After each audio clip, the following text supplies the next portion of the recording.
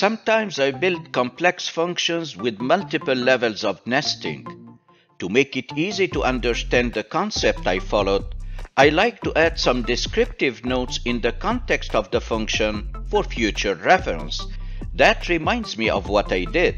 I'm not talking about adding comments to the cell, but rather regular text description within the function itself. I am Nabil Mourad. In this tutorial, I show you how to type any text inside a function that does not change the result of the function. I also give you three amazing bonus tips on how to do the same thing in Power Query, in Power BI, or in VBA. So stay tuned until the end. Now let's see how I do that in Excel. In this example, I have in columns B, C, D, E a list that shows a date, a region, a rep, and sales. And I want to select a sales rep name from a drop list in cell H3 and accordingly have all the records corresponding to this manager extracted in the range starting from G5.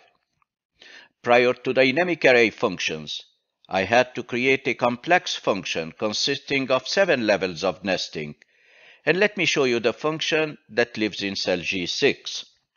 I hit Ctrl Shift U to expand the formula bar, and here is the function I created using if, index, aggregate, row, and rows. It's a complicated function. So to make it easy for me to understand what I did, I added a little comment within the context of the function that reads, the aggregate function returns the row number where the condition is met to the index function. You can watch this tutorial and learn how I created this solution using the index and aggregate function by clicking on the link below this video. And now let's understand the concept of adding notes within the context of a function. In the next worksheet concept, I have different values in column B. I have a number, a date, logical values, and text. And I'm going to create in column C a special function that returns a value converted to a number. It's a single character function. It's the n function. So if I type equal n, I hit tab and I select B2. The n function converts any value to a number. So if it's already a number, then it will return a number. What if I copy this function to the date? Then it returned the serial number of the date. Logical values true and false can be represented by 1 and 0. So if I put them in an n function, then I get 1 for true and 0 for false. I'm specially interested in text because I'll be adding text notes, and the n function will convert any text to a 0. You can read in column D the function I created. If you add a 0 to a number, that doesn't change the number. So I'm going to use the n function in two different ways. I will be using it as an extra argument separated by comma from other arguments, or I can add it to a number. Let's see the two situations. I go to the next example. In this example, I have a list of student names and the score for each student in three different subjects. My goal is to extract in one single cell the name or names of the student who got the highest score, and I want the names separated by commas. I created this solution by using dynamic array functions. Let's expand the formula bar, Control Shift U to expand. And as you can see, I used array to text by row, lambda, sum, filter, and max functions. I created this function in cell G1. You can learn how I created this solution by watching my tutorial. The link is in the description below this video. What I want to do now is to add a little comment within the function that doesn't affect the functionality of the function. Then I'm going to click after the sum function before the comma and I type plus n and then open bracket. In double quotation, I type returns the total score for each student. I close the double quotation I close the bracket and I have a comment within my function. When I hit enter, that doesn't affect the functionality of the function and I still get the same result. Let's collapse the formula bar, Control Shift U, and I want to test if the function is dynamic. So I'm going to select one of the students, let it be key, and I'm going to change the science score for key in a way that the total score for key matches the total score for Page and Salazar. So if I make it 27, the moment I hit enter, look at cell G1, then the function is dynamic, although I have a comment inside the function. I can also add the comment as an extra argument to a function. Let's see an example. In this example, I have a list which shows a title and author, pages released, whether read or not, and the cost. I would like for each title to extract the cost. And to get the cost, I have to use a VLOOKUP function. The problem is, I don't have the cost in one single list. I have it in two different lists. So it might be in list number one or in list number two. And in order to use a VLOOKUP function, for the table array argument, I have to append the two lists, the one in columns HI and the other one in columns KL and I built my solution in which I combined classic function with dynamic array functions. So you can see that I used a VLOOKUP function with a VStack function. I want to add a little comment to the VStack function. Let's expand the formula bar, Control Shift U, and before the closing bracket of the VStack function, I'm going to add an extra argument. I type a comma, and then I type the n function, n and I open bracket. In double quotes, I type provides the table array for the VLOOKUP function. I close the double quotation and I close the bracket for the n function. Now if I hit enter, my function is working just fine. I collapse the formula bar Control Shift U and I can copy this function all the way down. If you don't want to have the comment in the entire column, then you can just keep it in the first cell and delete it from the subsequent cells before copying to the entire column. So I can copy down, select the second cell, delete my n function, and then I hit Control Enter. Now I can copy this function all the way down. I want to copy without formatting. And now I have my notes in the top cell only.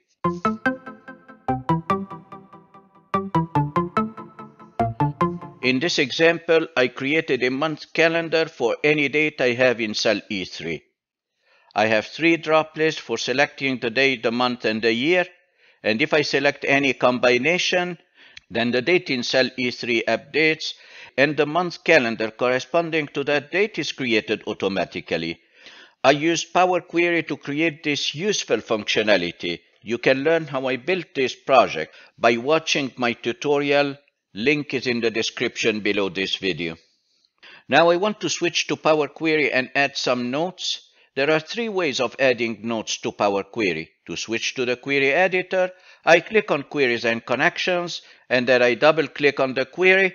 It opens the query editor, and I would like to add a comment to one of the steps. I can add the comments directly to the applied steps, or I can add it to the M code in the advanced editor. So let's learn how to add the comment to the applied steps. So if I select the step insert inserted day name, you can see in the day name column the full name of the weekday. The next step extracts the first three characters of the day name and I have the abbreviated name in preparation for building my calendar. I would like to add a little comment to this step. So how do I do that? I right click on the step and from the right click menu I select properties. The step properties dialog box opens where I'll be writing my comment which will read we just want the abbreviated name of the weekday. When I hit OK, a comment has been added. If you look at the step, there is a little information icon that pops up next to the gear icon and if you hover over the step, you will read in the tooltip the wording of the comment. What happened to the M code when I created this comment? Let's have a look. So if I go to the Home tab or the View tab and I click on Advanced Editor, the Advanced Editor dialog box opens and here is the comment preceded by two forward slashes. You can type any comment just by typing two forward slashes and it appears in green color. So I'm going to type another comment. It's not a step, then I don't need to type a comma. And I type two forward slashes and then I type the text for my comment. Please pause the video and subscribe to my channel. When I hit done, then the query worked just fine and the functionality is not affected. You can also add multiple lines of comment in the advanced editor. So if I open the advanced editor one more time, you can either comment some of the steps or you can add a comment of multiple lines. And if you want to comment one or multiple steps, then before the step, you type a forward slash and a star. And at the end of the steps that you want to comment, you type a star and a forward slash. Then whatever is included between the forward slashes will be a comment. It's not an executable line of the M code. Of course, this requires making some modifications to the code because each step refers to the previous step. Then when I go to the next one, I will need to refer the previous active step. I'm not going to do that and I'm deleting the stars and the forward slashes. This becomes an executable line of the code.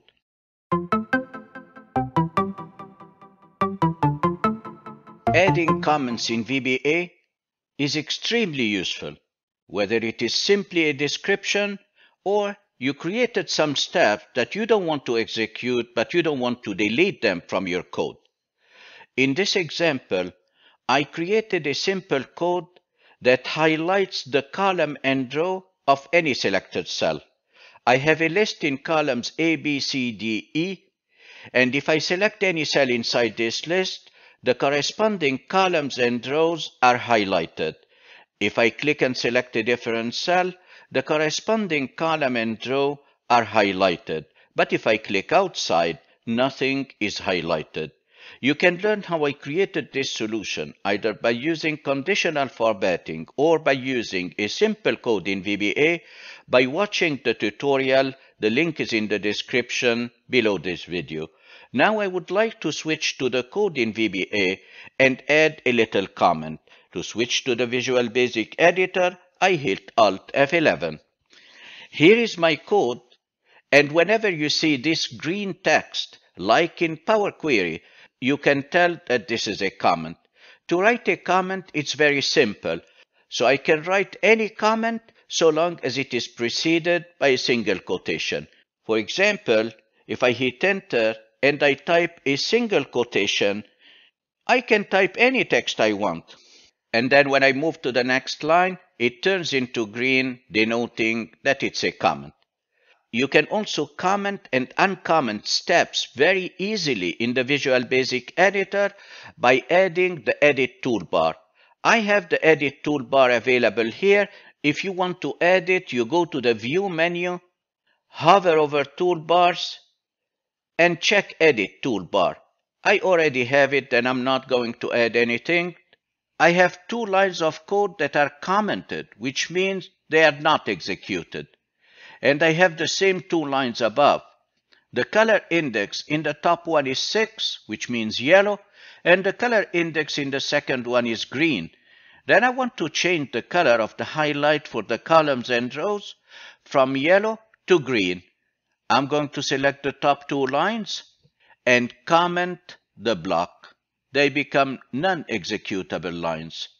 And then I select the next two lines and I want to execute these two steps, so I uncomment the block. By doing so, the color of the highlight will change from yellow to green.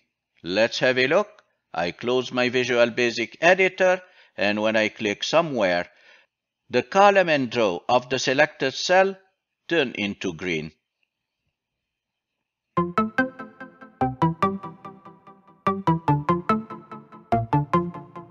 You can add comments to your visualization in Power BI.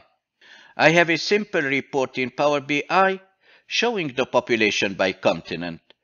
And I want to publish this report to Power BI services in the cloud.